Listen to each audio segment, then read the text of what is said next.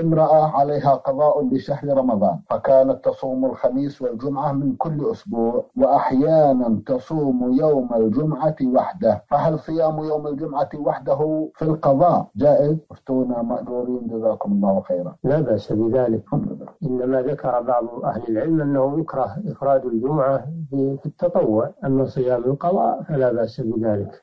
ولا يدخل في الكراهة. نعم.